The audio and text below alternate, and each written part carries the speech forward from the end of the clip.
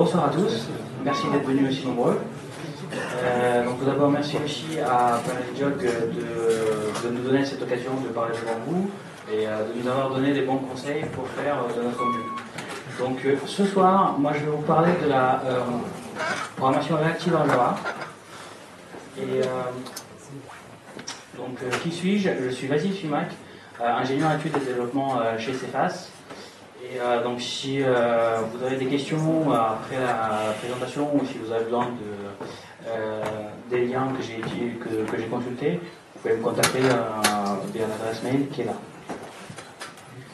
donc tout d'abord, je voulais dire que je ne suis pas un spécialiste de la programmation réactive et cette présentation de ce soir va être plutôt un résumé des des, informations que j'ai pu euh, consulter et euh, euh, pour justement vous donner une forme ou des informations concentrées pour que vous puissiez commencer à investiguer cette nouvelle méthode de formation. Donc ce soir, je vais vous parler de. Donc je, vais commencer par vous donner des, définitions, de, des définitions de, la programmation réactive.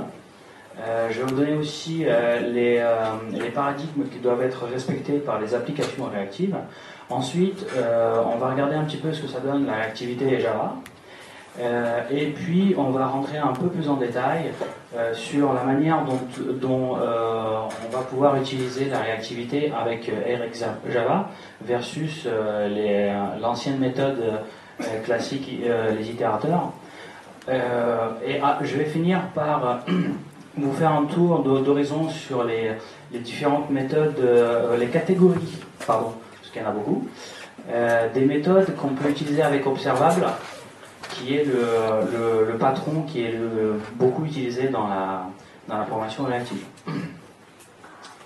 Donc, pour les définitions, j'en ai retenu deux qui euh, m'ont semblé assez intéressantes. Donc, la première, donc la source est Wikipédia. Euh, la programmation réactive, c'est un paradigme de programmation euh, qui vise à conserver une cohérence d'ensemble en propageant la modification d'une source réactive aux éléments dépendants de cette source. Donc les mots clés qu'on va retenir, c'est euh, donc paradigme, donc c'est une manière de programmer. Donc si on veut combiner cette manière de programmer avec d'autres manières de programmer, on peut. Et donc on va retenir également les mots clés propagation. Ensuite, la deuxième euh, définition qui, m'a plu, c'est celle que j'ai euh, trouvée sur euh, des zones. Vous aurez bien sûr les liens à la fin. Et donc, c'est un style de programmation où l'on définit une source de données et un consommateur de cette donnée. Une fois la source connectée au consommateur, la, librairie, dans notre exemple, ça va être Eric Java, elle prend en charge l'envoi via des, des push, des données qui sont générées par la source vers le consommateur.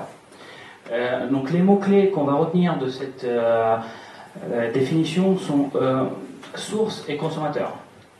Vous allez comprendre pourquoi j'ai souligné ces éléments-là dans les définitions. Donc les exemples qu'on peut retrouver donc, dès, les premières lectures concernant la programmation réactive, pour essayer de visualiser un peu mieux qu'est-ce que c'est. Donc on a l'exemple classique du tableur qui euh, donc euh, ça va être une application qui implémente euh, donc qui utilise la formation réactive et une déclaration simple et bête de de deux variables avec une attribution et on essaie de calculer la somme. Donc lorsque on va modifier la variable a, on, va lui assigner la valeur 7, la somme elle ne va pas changer. Alors que lorsqu'on va modifier la valeur de la variable a de la case B1, on va la changer en 7, elle par contre elle va être bien propagée. Donc c'est là qu'on va retrouver euh, donc le, la, propagation de, la modification, et puis on va également avoir la source et le consommateur. Le consommateur va être euh, la, formule, et la source, ça va être nous. Ensuite, donc, euh, je vais vous présenter les, les, quatre règles qui doivent être respectées, qui ont été définies dans un manifesto, et plus précisément dans le Reactive Manifesto, et euh, d'une application réactive. Donc une application réactive, l'objectif euh, de cette application, c'est qu'elle soit euh, hautement disponible, elle soit résiliente, c'est-à-dire que lorsqu'on va, va rencontrer des cas d'erreur, ça ne va pas faire planter notre application. Elle doit être souple. Euh, lorsqu'on a des montées en charge, donc elle doit pouvoir traiter ces montées en charge correctement.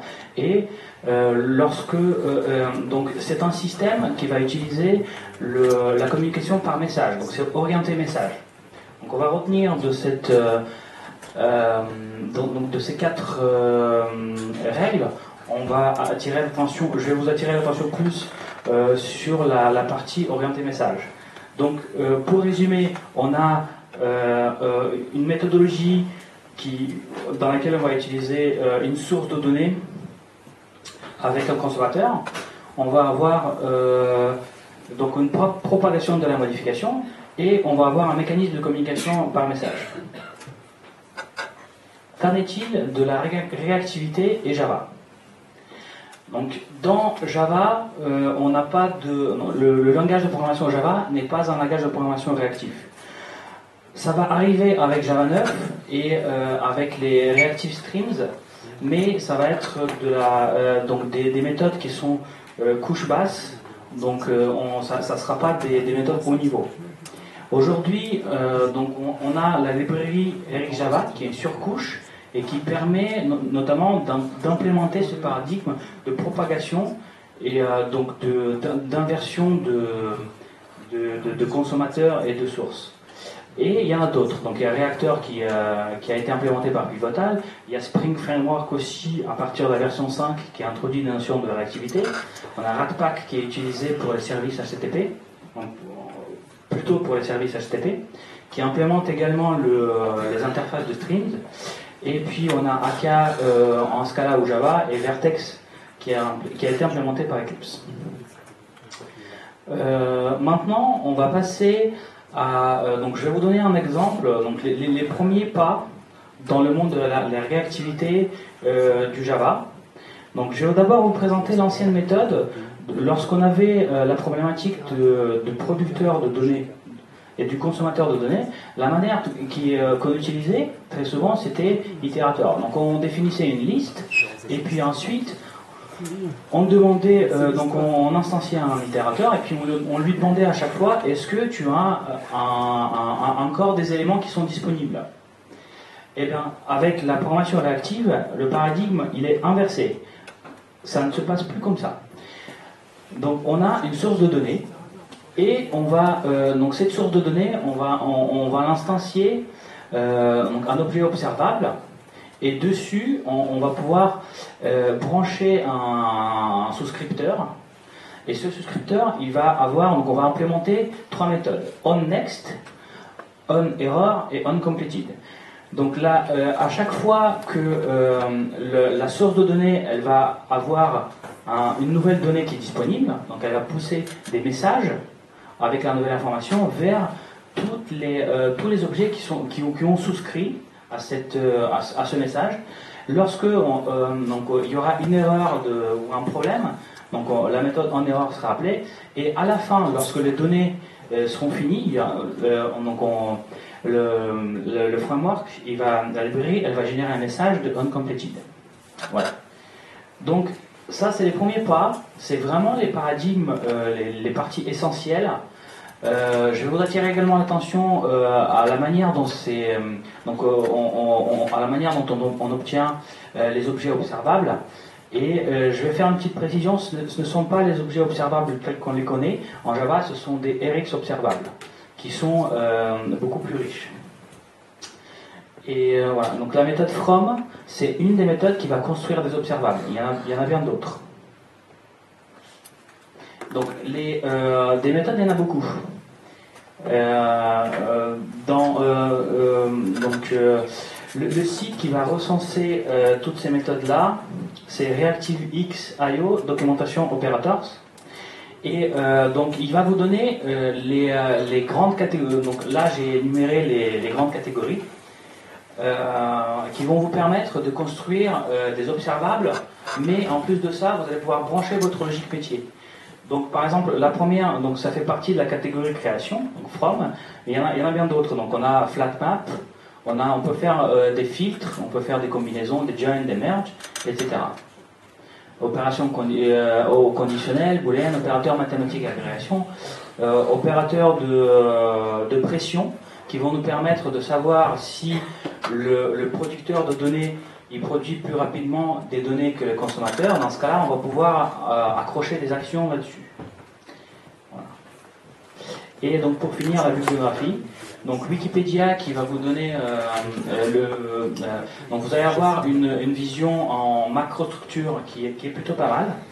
Reactivix qui sera donc là, là, vous allez pouvoir trouver toute la documentation des différentes catégories et ce qui est très intéressant sur ce site là c'est que vous allez avoir accès à la documentation de chacune des implémentations réactives pour, chacun pour chaque langage de programmation. Typiquement, euh, vous allez pouvoir trouver aussi la doc de C Sharp, etc. Pas seulement Eric Java.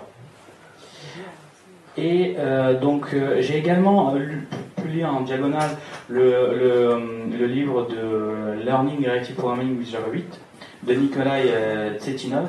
Mais donc la, conclusion que, j'en ai fait, c'est qu'il y a beaucoup d'observeurs. Observable, observable, observable. Voilà. C'est tout pour, pour, pour ce soir. Donc est-ce que vous avez des questions?